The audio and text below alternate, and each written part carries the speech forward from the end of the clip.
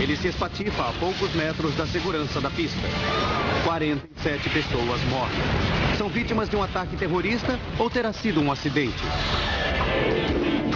Agora, utilizando simulações gráficas avançadas, revelaremos o que realmente houve de errado com o voo 092. Desastres não acontecem simplesmente. Eles são uma sequência de eventos inevitáveis. Conheça os momentos fatídicos na contagem regressiva dos segundos finais antes do desastre. Segundos fatais. Falha humana. Europa. Inglaterra. Aeroporto Heathrow de Londres. O aeroporto internacional mais movimentado do mundo. 8 de janeiro de 1989. É noite de domingo e muitos passageiros estão voltando para casa depois das férias de Natal e Ano Novo. O aeroporto está lotado. No terminal, um dos passageiros faz o check-in para o voo 092 da British Midland, com destino a Belfast, Irlanda do Norte. É uma ponte aérea regular de uma hora. A segurança é rigorosa. É o auge da campanha terrorista do IRA contra alvos britânicos. O IRA matou 416 civis em quase 20 anos de violência. O funcionário da área de saúde, Garrett Jones, começou a trabalhar em um novo emprego em Belfast três semanas atrás. Posso lhe fazer uma ou duas perguntas de segurança, senhor? Os controles de segurança são um meio de vida. Se você morasse na Irlanda do Norte na época, estaria acostumado com a segurança, que era bem rigorosa.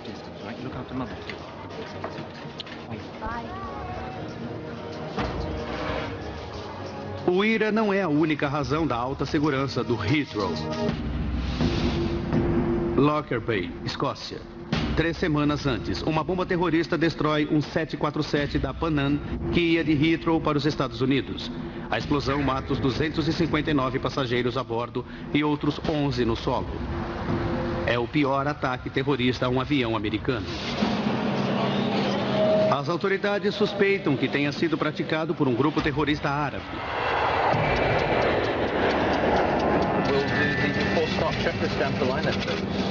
Hoje, os passageiros do voo 092 estão nas mãos do capitão Kevin Hunt, 43 anos. Ele é um dos pilotos mais experientes da British Midland, com 25 anos voando com a empresa. Ar-condicionado, pressurização. Voando com ele, o primeiro piloto David McClellan, de 39 anos. Esta noite estarão pilotando um avião fabricado há dois meses. É um Boeing 737 da nova série 400. A Boeing lançara a aeronave um ano antes, em meio à grande publicidade. Ela alardeia importantes melhorias em relação às aeronaves que a precederam. Seus novos motores CFM56 são os mais poderosos da sua espécie e o cockpit exibe características tecnológicas moderníssimas, incluindo telas de TV computadorizadas e indicadores LED, que substituem os indicadores mecânicos tradicionais. 7 e 15 da noite. Cartão de embarque.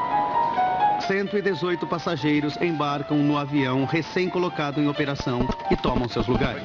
Três liberados, motores 2 e 1. Um. O capitão Hunt liga os dois motores. A aeronave da série 400 ainda é novidade para ele, com apenas 23 horas de voo nela. O primeiro piloto, McClellan, tem 53 horas. Pressão do óleo subindo. Coloquem os cintos de segurança. Na cabine de passageiros, Garrett Jones senta-se junto à janela, sobre a asa no corredor da saída de emergência. Com licença, senhor. Um comissário de bordo pede a Garrett para ler os procedimentos de segurança para saber como abrir a porta de saída sobre a asa. Ele foi bem blasé, mas falou de forma agradável. Teria sido rude não fazê-lo. O controle de tráfego aéreo autoriza a decolagem do voo 092. 092, liberado para decolagem. Ventos de superfície 270 graus. As condições meteorológicas são perfeitas. Vamos embora? Vamos. O primeiro piloto, McClellan, acelera os motores.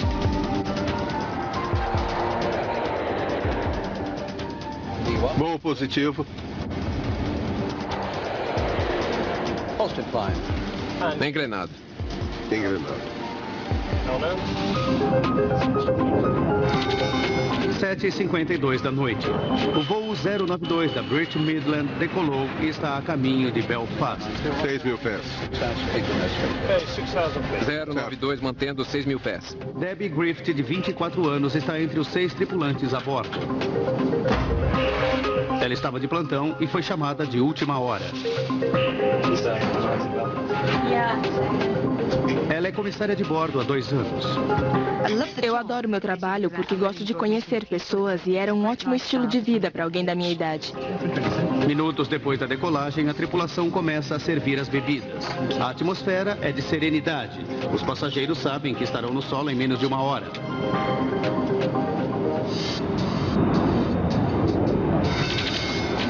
Oito e cinco da noite. 13 minutos de voo. O avião está a 8.500 metros e continuando a subir para chegar à altitude de 10.600 metros. Então, sem aviso, um forte ruído. O avião começa a balançar violentamente. Um voo de rotina transforma-se no pior pesadelo dos viajantes aéreos. Na cabine de voo, o capitão Hunt e o primeiro piloto David McClellan sentem a vibração. E pior ainda, sentem cheiro de fumaça. O que está vendo? Fogo. Temos um incêndio. Comunique que precisamos pousar. Fumaça só pode entrar na cabine pela tubulação de ar-condicionado. E quando acontece no 737, deduz-se que é um problema no motor. E parece grave. Kieran Dynan, estudante de 20 anos, está sentado na asa perto do motor. Ele só escuta um som diferente. Era um som bem definido, como seixos em uma máquina de lavar roupa. Logo atrás da cabine de voo, na primeira fileira, estão os sócios Nick Stevenson e Chris Thompson. Estão voltando para casa em Belfast. Eles sentem a vibração intensa e temem que o avião esteja se partindo. Parecia que havia alguém com uma marreta do lado de fora, tentando abrir uma passagem pela fuselagem. Nesse momento você fica paralisado. A comissária de bordo, Debbie Griffith, imediatamente pensa no desastre de Lockerbie. Grande estrondo e fortes vibrações sacodem o voo da British Midland com destino à Irlanda do Norte. Na poltrona da janela, sobre a asa, na fileira 14, está o funcionário da área de saúde Garrett Jones. Ele se ocupa de uma passageira em pânico. A senhora sentada ao meu lado, Teresa, estava nervosa. E eu comecei a conversar com ela para acalmá-la e a mim, que também estava tenso. Garrett tem uma boa razão para estar preocupado. De sua poltrona, ele tem uma visão clara da asa do avião. E o que ele vê o enche de receio. Eu olhava pela janela e via um rastro de fagulhas vindas de onde estava o motor. De suas poltronas no cockpit, o capitão Hunt e o primeiro piloto McClellan não podem ver nenhum dos dois motores, por isso ignoram que há fagulhas. Como todos os pilotos, eles contam com o mostrador de instrumentos da cabine de voo para diagnosticar o problema. O novo mostrador do 737 da série 400 não lhes é familiar, mas sua tecnologia é de ponta. Hunt e McClellan examinam a tela e os indicadores LED. Eles detectam um problema de motor e desligam o que está com defeito.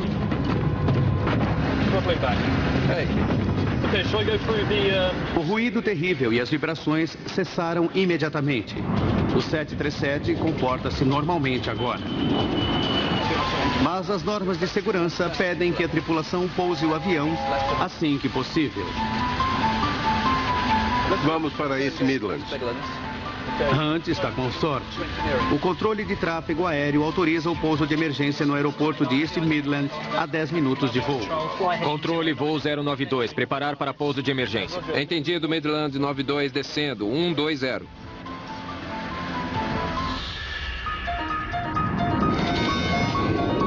Oito e 10 da noite. Senhoras e senhores, aqui é o Capitão Kevin Hunt. Tivemos um problema com o avião. O capitão usa a intercomunicação para acalmar seus 118 passageiros e informar que desligou o motor defeituoso. Infelizmente, não poderemos prosseguir rumo a Belfast. Ele diz que todos estarão a salvo no solo em 10 minutos. Será um pouso de rotina. Garrett Jones sente-se aliviado ao ver que o motor com problema parou de emitir fagulhas. Ele está convencido de que o capitão agora tem tudo sob controle. 8 e 17 da noite. O avião desce a 2 mil metros. Estão a 8 minutos do pouso. 160, nível de voo 40. Um minuto mais tarde, o controle de tráfego aéreo diz ao capitão Hunt para virar à direita para se alinhar com a pista. 092, desça para altitude de 3 mil pés. Eles estão em aproximação final. Os tripulantes tomam seus lugares para os poucos minutos restantes.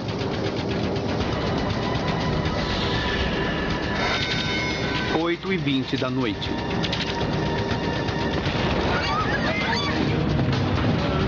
Outro estrondo, ainda mais forte, sacode o avião. Os passageiros percebem que o ruído deve vir do motor restante do avião. O avião todo sacudiu como se alguém o tivesse empurrado no ar. Naquele momento, meu sangue gelou. Agora há mais vibrações, ainda piores. A vibração era terrível. Era quase impossível para mim focalizar o Chris que estava sentado ao meu lado. E pensei, se continuar vibrando assim, esse avião vai se desintegrar. Eu fiquei aterrorizada, sem saber o que estava acontecendo. O controle de tráfego aéreo autoriza o capitão Hunt a descer para 600 metros. Eles têm de pousar o avião e rápido antes de que o último motor pare de funcionar. Temos um problema também com outro motor. Então, tudo silencia.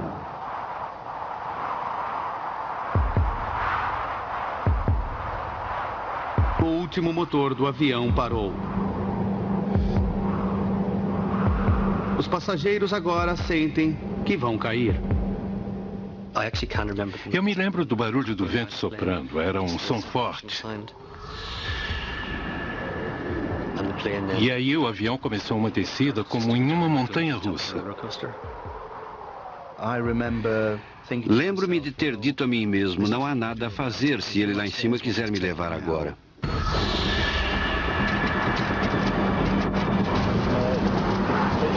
Capitão Hunt perdeu os dois motores. Sem empuxo dianteiro, o avião trava uma batalha perdida contra a gravidade. Hunt ordena ao primeiro piloto que tente restaurar o empuxo. McClellan começa a sequência de reignição, mas estão perdendo altura rapidamente. O motor esquerdo pega fogo. Começa o exercício de incêndio? Passe para o outro. Não adianta. O 737 está caindo.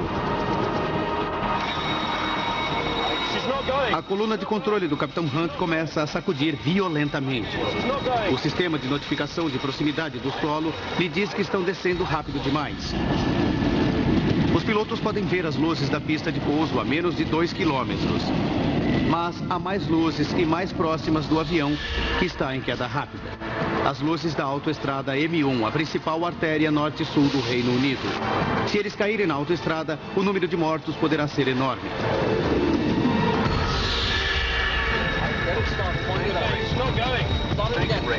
Mas o Capitão Hunt está sem opções. O solo se aproxima rapidamente. Alguém disse: Jesus, vamos todos morrer. 8 e 24 da noite. O voo 092 da British Midland está a um minuto do aeroporto de East Midland. O capitão Hunt pode ver as luzes da pista de pouso, mas perdeu dois motores, sendo que um deles está em chamas. Sua única esperança é manter o avião no ar o suficiente para cair na pista. Os passageiros não ouvem o capitão há 10 minutos, mas eles sabem que vão cair.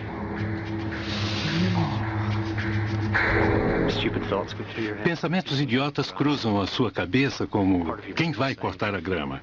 Parte do seu cérebro diz que o avião vai cair e parte não acredita nisso. Agora, o Capitão Hunt pode ver a cidadezinha de Kigworth. Desesperado para evitar cair sobre ela, ele eleva o nariz para aumentar a flutuação. O 737 passa sobre a cidade em uma altitude de apenas 60 metros. Eu achei ter visto a torre de uma igreja pela janela e pensei: a torre da igreja está passando pela janela. Eu estou em um avião. Mas além de Kegworth, encontra-se a autoestrada M1.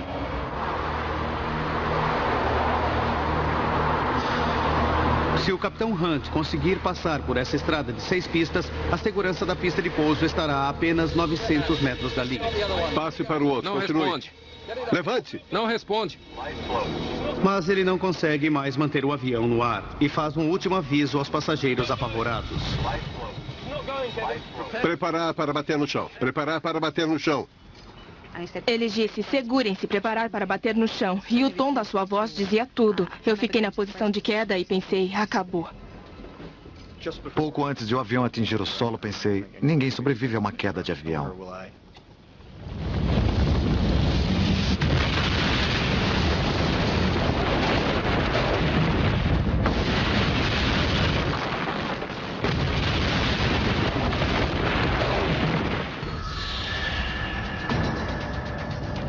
Trinta metros antes da autoestrada, a cauda bate no solo e eleva-se no ar. O avião se choca com as árvores perto da margem da autoestrada. Foi algo horrendo que parecia não acabar. Você fica sem fôlego. O avião tomba na estrada, destruindo a iluminação do canteiro central. O avião se espatifa na distância da M1 e se parte em três. Eu me lembro da queda e depois nada. Silêncio total. Ele parou a 900 metros da segurança da pista de pouso. O capitão Hunt passou raspando pela estrada. Incrivelmente, não há carros trafegando no momento do acidente. No interior dos destroços, na parte central do 737, Garrett Jones e a passageira Teresa estão vivos. Suas poltronas são na asa, a parte mais forte da aeronave. Garrett está ileso. Ele nem acredita na sua sorte, mas o perigo ainda não passou. Quando abri meus olhos, pude ver um pequeno arbusto em chamas e pensei no perigo, pois a asa é cheia de combustível. Tínhamos de sair dali depressa.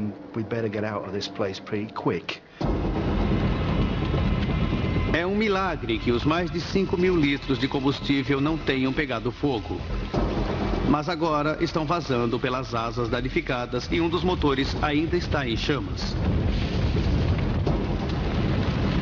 Se elas chegarem ao combustível, Garrett e quaisquer outros sobreviventes terão poucas chances. Sobreviveram a uma queda de avião, mas poderiam morrer queimados. Garrett puxa desesperadamente o fecho da porta de emergência que não se abre. Felizmente me lembrei das instruções de Jamie. Agarrei o fecho, puxei-o para dentro e empurrei a porta para fora. Antes da queda, Garrett havia dito à sua companheira de voo, Teresa, que se sobrevivessem, ele atiraria dali. Lembro de enfiar a cabeça pela porta e gritar para a Teresa me dar a mão. Quando aquela mãozinha saiu da escuridão, eu a puxei para fora. Agora Garrett volta ao avião procurando sobreviventes. E vê uma cena horripilante. Destroços retorcidos, pessoas feridas gritando por socorro e outras apavoradamente silenciosas. Havia pessoas lutando para sair e outras imóveis. E eu sabia que essas deviam estar mortas. É uma lembrança que levarei comigo para o túmulo. Na primeira fileira, na parte dianteira do avião, os sócios Nick Stevenson e Chris Thompson. Está inconsciente e gravemente ferido, mas Nick é um dos mais afortunados. Ele volta a si rapidamente. A primeira coisa que pensei foi: estou vivo. E a segunda vai pegar fogo, saia logo. Ele não tem forças para ajudar Chris. Tenta se levantar, mas é impedido por uma dor lancinante na perna. Mas ele sabe que ele tem de superar a dor e sair dali. O instinto de sobrevivência nos domina, é incrível. Eu sabia que ia sair, tinha que sair. Nada era mais importante do que isso. Ele chega a uma brecha na fuselagem e grita para os motoristas que pararam para ajudar. Eles me viram, me pegaram e me levaram para o aterro. Ainda presa nos destroços do nariz do avião está a comissária Debbie Griffith. Ela está mal, mas seu maior receio é uma explosão de combustível. Eu estava tendo problemas para respirar e achei que estava morrendo, embora lutasse para viver. Achava que o motor ia explodir e que seria sufocada pela fumaça tóxica. Kieran Dynan, de 20 anos, estava na beira da parte central do avião. Ele está muito ferido e em estado alterado de consciência. Todos os assentos à minha frente não existiam mais, só escombros. Oito e meia da noite. Cinco minutos após a queda, os bombeiros chegam à aeronave. Começam a cobrir a área toda com espuma. Os bombeiros apagaram o fogo do motor. Pelo menos tínhamos uma chance. Em dois minutos, o fogo foi apagado e o resgate pôde começar. Agora, os bombeiros vasculham o avião por sobreviventes. Eles têm a penosa tarefa de verificar quais dos passageiros estão mortos e quais ainda vivem.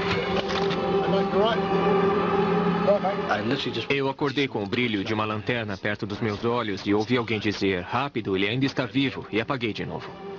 Kieran foi tirado do avião e levado às pressas para o hospital.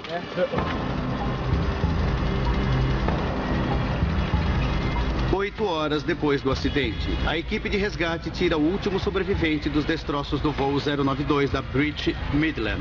São 4h20 da madrugada. Das 126 pessoas a bordo, o impacto mata 39. Outras oito morrem no hospital devido aos ferimentos. Entre os sobreviventes estão os dois pilotos, David McLellan e o capitão Hunt. Ambos foram gravemente feridos no impacto. O capitão Hunt está paralítico. Os sobreviventes descreveram o que aconteceu e elogiaram o desempenho dos pilotos do avião. Mas o que faria um avião novo em folha cair? A sabotagem de terroristas é uma possibilidade. Faz três semanas que um 747 da Pan Am explodiu no ar sobre a cidade de Lockerbie, na Escócia, matando 270 pessoas. Foi uma bomba terrorista que derrubou este avião também? Hoje, revendo os eventos daquele dia fatídico e com uma investigação detalhada, poderemos revelar o que realmente aconteceu com aquele voo. Uma simulação gráfica avançada nos levará aonde nenhuma câmera pode ir, ao coração da zona do desastre.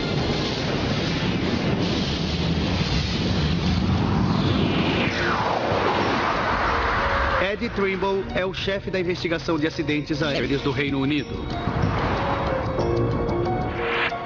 Ele trabalhou nos principais desastres aéreos naquela região nos últimos 30 anos. Quando é dada a notícia do desastre de Kigworth, a equipe de nove investigadores de acidentes de Ed Trimble ainda está em Lockerbie. Vasculhando os destroços do avião da Pan Am que caiu, ele teme que outro atentado terrorista tenha tirado vidas em solo britânico. Trimble chega à cena do acidente por volta de meia-noite, apenas quatro horas após o ocorrido.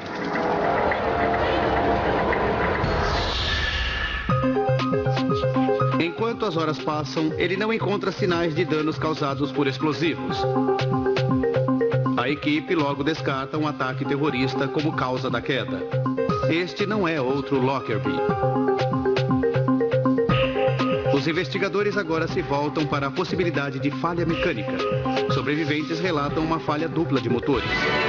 Parece quase impossível, mas a teoria logo surge nos noticiários. Os peritos dizem que as chances de os dois motores de um avião novo falharem ao mesmo tempo são de uma em 100 milhões, mas é o que parece ter ocorrido ontem à noite. Ed Trimble sabe que se ambos os motores falharam simultaneamente, as implicações são enormes.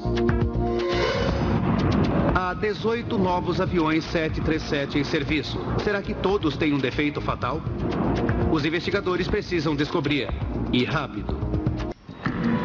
O investigador-chefe e sua equipe de nove homens vasculham o local do acidente do voo 092 da British Midland. Eles precisam desesperadamente de indícios que expliquem o que poderia ter causado a falha dos dois motores do jato. Relatos dos momentos finais do avião chegam das testemunhas. Eles falam de chamas no motor esquerdo.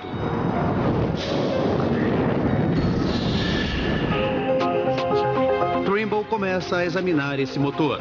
Não é uma tarefa simples. O impacto da queda danificou-o seriamente. Mas ele logo descobre algo que claramente não está relacionado ao acidente. Quase todas as pás da hélice da turbina estão danificadas ou em pedaços. Conclui que a quebra da hélice jogou fragmentos dentro do motor.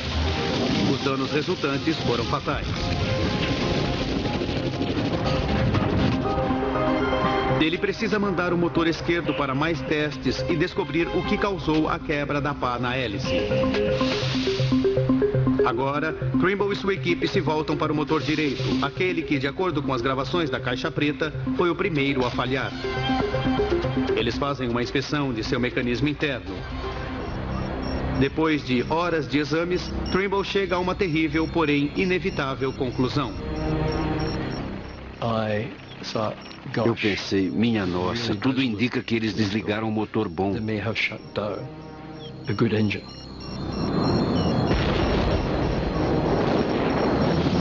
Percebe que quando o motor esquerdo começa a falhar, os pilotos inexplicavelmente desligam o motor direito, que estava em perfeitas condições. Agora, o foco da investigação é outro. Não foi uma bomba terrorista ou uma falha dupla de motores que provocou a morte de 47 pessoas no voo 092. Foi um erro humano catastrófico. Essa descoberta surpreendente abala o mundo da aviação. Como dois pilotos experientes puderam desligar o motor errado em uma aeronave nova?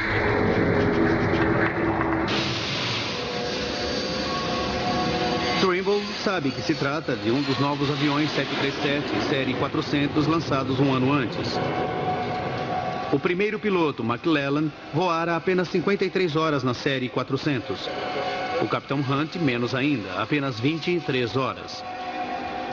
O desconhecimento por parte dos pilotos de alguns aspectos do novo design pode ter causado o erro fatal? Para descobrir, Trimble tem que examinar cada detalhe daquele voo. Usando as gravações do cockpit, ele começa a analisar todas as decisões que os pilotos tomaram na cabine de voo. Estamos desligando o 091. 8 e 5 da noite. Pouco menos de 20 minutos para o acidente. Na turbina esquerda, uma pá se quebra. O pedaço quebrado aloja-se no invólucro do motor. Os danos à pá da hélice desequilibram o motor rigorosamente calibrado. O motor começa a estremecer violentamente, originando uma vibração que sacode o avião inteiro. A quebra danifica fatalmente o motor esquerdo. Agora é questão de tempo até que haja a falha total. A tripulação sente a vibração e o cheiro da fumaça que escapa do motor danificado para os dutos de ar-condicionado. Eles supõem que há um incêndio em um dos motores. O capitão Hunt pergunta qual é o motor com problema. A gravação do cockpit revela o primeiro ato de uma terrível cadeia de eventos. O primeiro piloto, McClellan, começa a dizer esquerdo, mas muda de ideia. Não, é o direito. Ed Trimble precisa descobrir por que McClellan hesita e então responde errado. Ele sabe que os pilotos não podem ver fisicamente os motores. Precisam confiar no mostrador de instrumentos para diagnosticar o problema. O mostrador do cockpit na nova série 400 ostenta indicadores LED e telas em lugar dos instrumentos mecânicos tradicionais. Hunt e McClellan tiveram dificuldades interpretando esse mostrador de instrumentos desconhecidos. O novo mostrador tem um medidor para monitorar as vibrações incomuns de cada motor.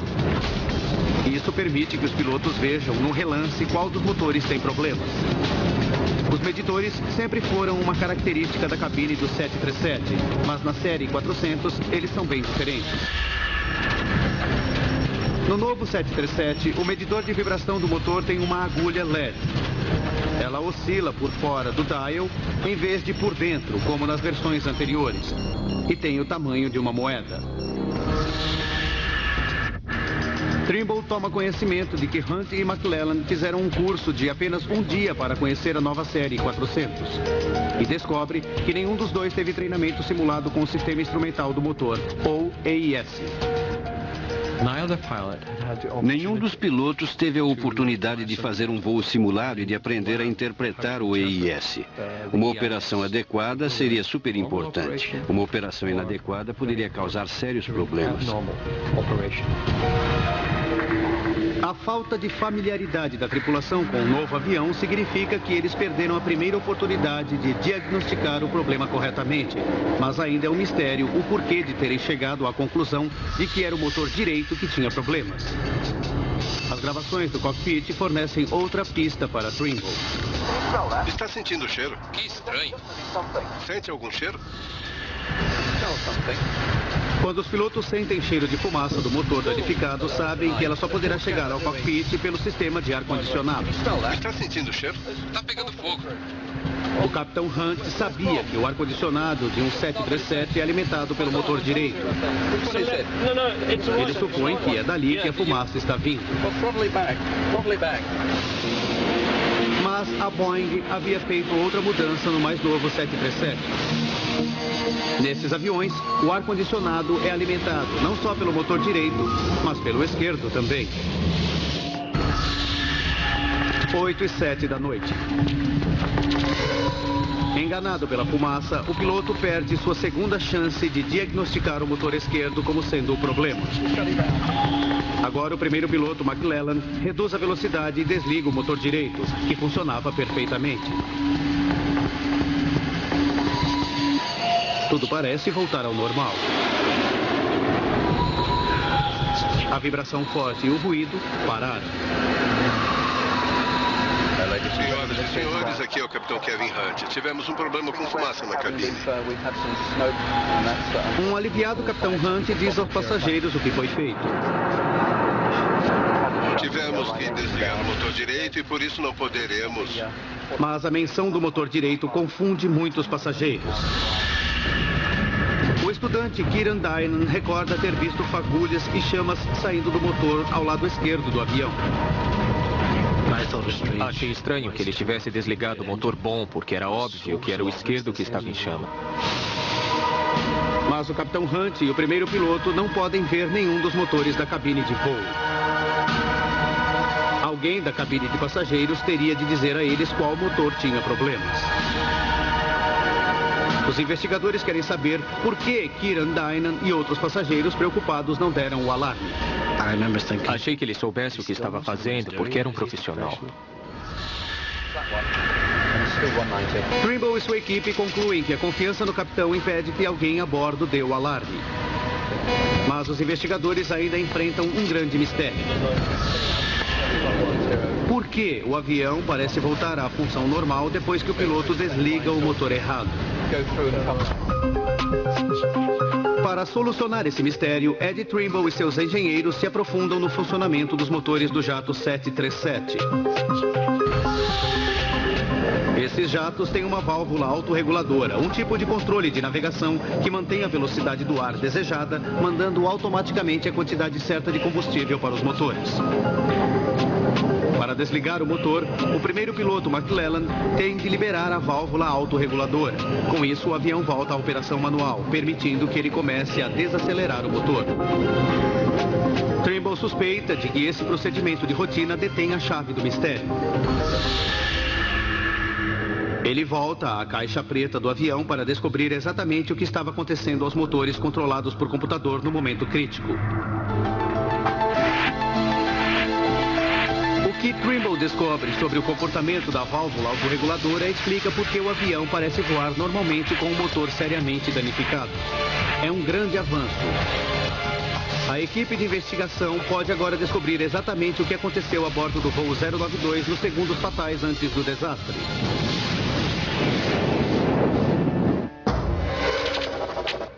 Oito e cinco da noite. Quando a pá da hélice se quebra no motor esquerdo, seus fragmentos o danificam seriamente, causando uma redução de velocidade. A válvula autorreguladora reage bombeando mais combustível para o motor atingido, tentando manter a velocidade da hélice. Isso faz com que o motor danificado estremeça violentamente e lance fagulhas, que inflamam o combustível excedente, causando as chamas vistas pelos passageiros. 8 e 7 da noite. É o esquerdo. Não, não, não, é o direito. Enganado pela fumaça que sai do ar-condicionado, a tripulação erra ao diagnosticar o motor com problema. O capitão Hunt ordena o desligamento do motor que funcionava plenamente. O primeiro piloto, McClellan, desliga a válvula autorreguladora e imediatamente puxa o manche do motor direito. Nesse momento, a vibração cessa e o cheiro de fumaça desaparece. Ed Trimble agora sabe por quê. Dados da caixa preta revelam que quando os pilotos desconectam a válvula autorreguladora a fim de desligar o motor direito, os dois motores voltam à regulagem manual. Sensores no interior do motor esquerdo danificado detectam que ele está girando mais devagar que o normal, o que provoca uma redução no fluxo de combustível. Agora, com o fluxo de combustível em um nível que o motor consegue dominar, a vibração e as chamas desaparecem. O motor esquerdo parece estar funcionando normalmente, quando de fato está seriamente danificado. A tripulação naturalmente pensa que desligou o motor certo. O que eles não percebem é que foi a desconexão da válvula autorreguladora que resolveu o problema e não, como eles supunham, o desligamento do motor direito. Esse efeito em particular da válvula autorreguladora foi o que fez ambos os pilotos acreditarem que, ao retardar o motor certo, tinham identificado o motor defeituoso.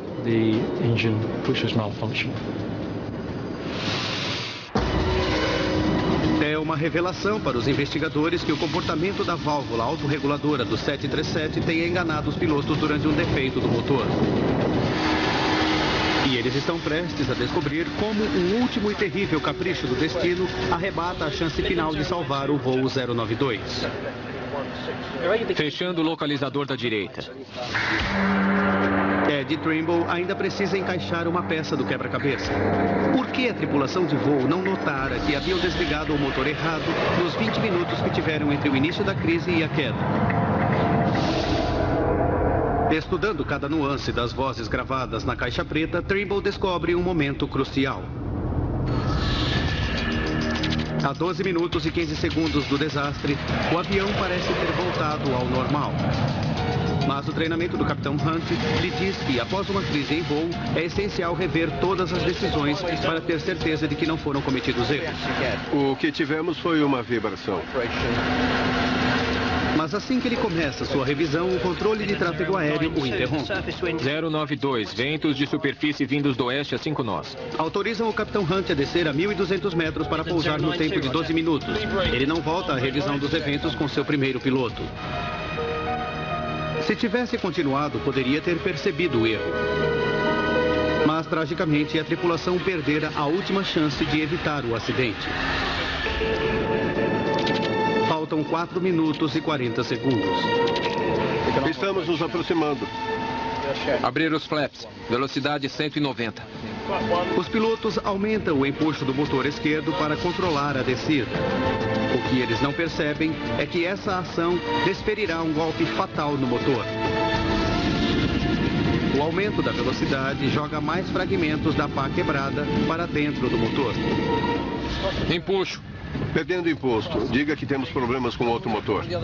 Ele começa a se desintegrar e a pista ainda está a 21 quilômetros dali. Um minuto. O motor perde toda a força e pega fogo. Temos um incêndio no motor número 1. Um. Não, esqueça isso. Passe para o outro. O tempo acabou para o Capitão Hunt. Ele perdeu os dois motores. Em desespero, tenta reiniciar o motor direito com uma arrancada, usando a velocidade do avião para aumentar o giro das pás da turbina. Não está funcionando. Sobe com ele, sobe Não com ele. está respondendo, Kevin.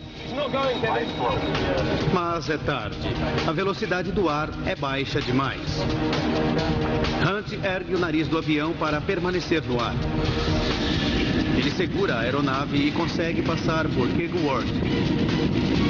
Mas o Capitão Hunt sabe que acabou. Dez segundos para o impacto. O Capitão Hunt faz o aviso final. Não está indo, Kevin. Preparar para impacto. Preparar para queda.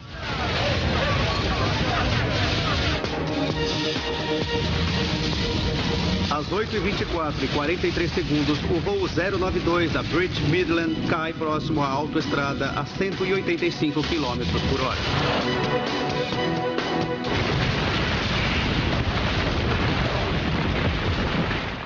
Midland 092, aqui é o radar East Midlands, está me ouvindo? Midland 092, aqui é o radar East Midlands, está me ouvindo? Midland 092, East Midlands, está me ouvindo?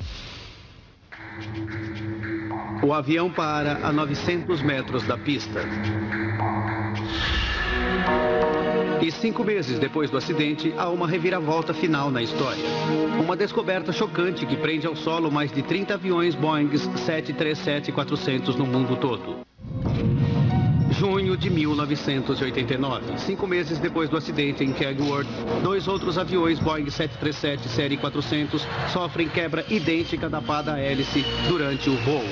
Em ambos os casos, os pilotos leem os sinais corretamente e pousam em segurança. As autoridades da aviação civil proíbem o voo de todos os aviões britânicos Boeing 737-400.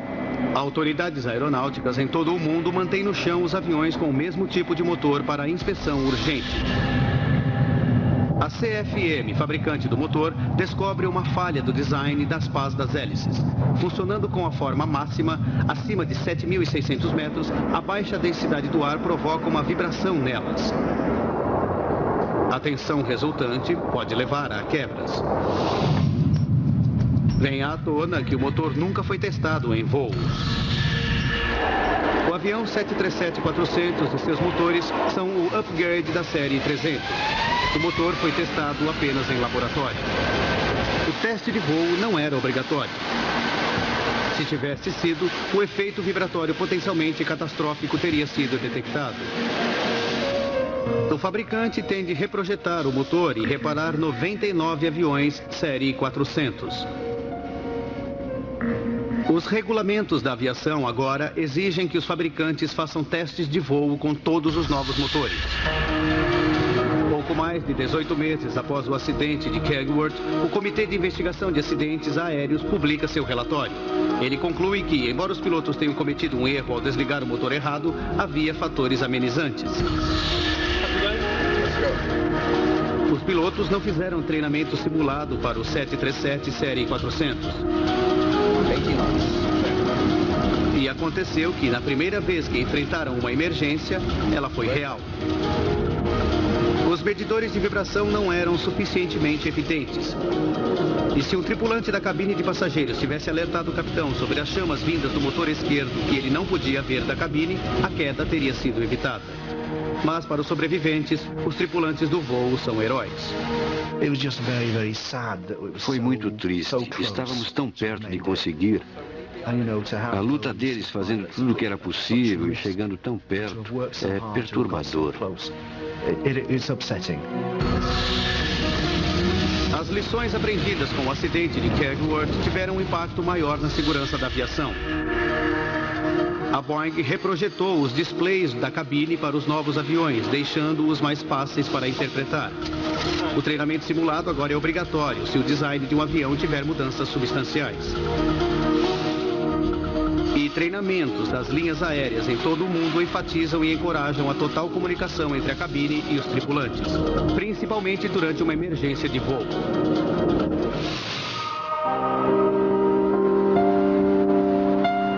Dos 126 passageiros e tripulantes a bordo, 47 perderam a vida.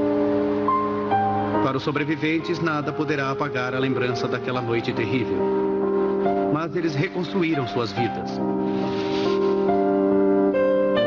Chris Thompson e Nick Stevenson se restabeleceram dos ferimentos e continuam nos negócios na Irlanda do Norte.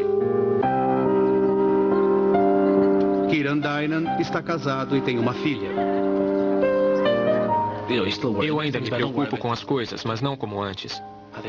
Acho que meu azar chegou todo de uma vez e não vai acontecer de novo.